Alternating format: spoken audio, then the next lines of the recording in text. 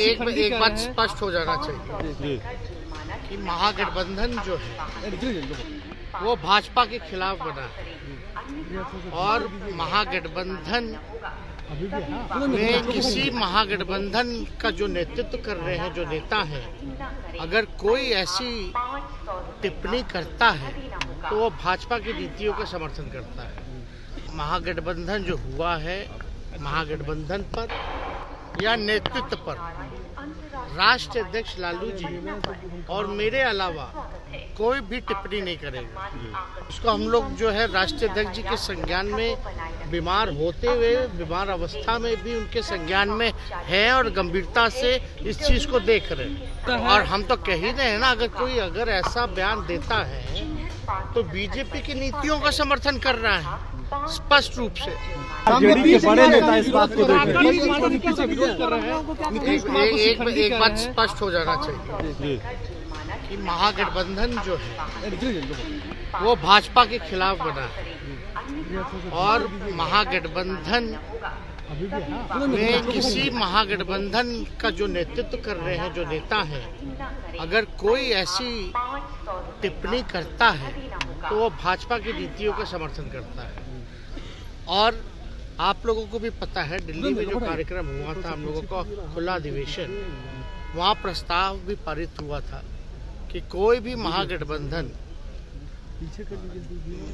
नेतृत्व महागठबंधन जो हुआ है महागठबंधन पर या नेतृत्व पर राष्ट्रीय अध्यक्ष लालू जी और मेरे अलावा कोई भी टिप्पणी नहीं करेगा।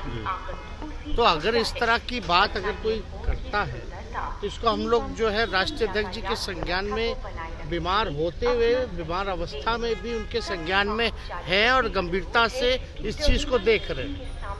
लेकिन तो- सर फ़र्क तो पड़ता है ना बीजेपी को बल तो मिलता है बोल रहे भाई। गंभीरता से देखा जा रहा है और सर ऐसे क्या है? सर ऐसे बयानों से बीजेपी को बल और मिलता है। और हम तो कह ही रहे हैं ना अगर कोई अगर ऐसा बयान देता है तो बीजेपी की नीतियों का समर्थन कर रहा है स्पष्ट रूप से।